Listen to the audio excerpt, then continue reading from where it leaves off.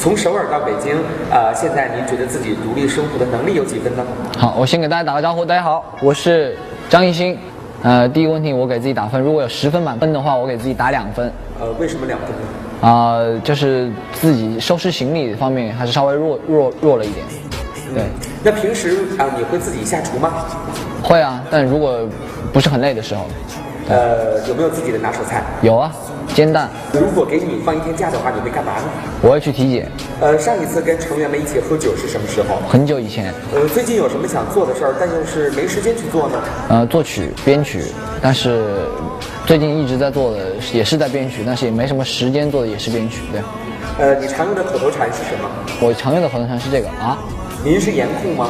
一般就行了，就对。在交朋友的时候呢，您看重对方的有是什么特质呢？交朋友的时候啊，义气，对我好不好，在不在乎我，你喜欢粉丝们给你起的“蛋蛋”这个爱称吗？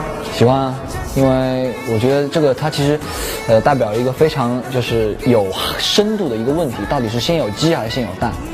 对，既然我叫蛋蛋，我就不妨相信我就是先有蛋嘛，是吧？呃，平时看女生，呃，您觉得穿什么样风格的衣服觉得最最养眼的？就是那种连衣裙那种，对，嗯。呃，下次买衣服能不能呃买的便宜点儿？就是呃粉丝的同款伤不起的。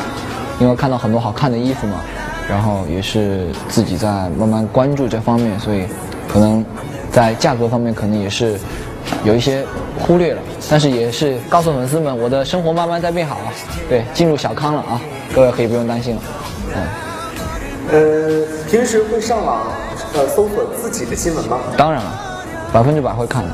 如果你有一种超能力的话，你希望拥有哪种超能力？我希望拥有一种治疗的超能力，呃，你未来的目标是什么？当一个全能的艺人艺术家。嗯，请你用一句话总结一下已经过去的二零一五年上半年。坚持、等待、忍耐、追求和守护。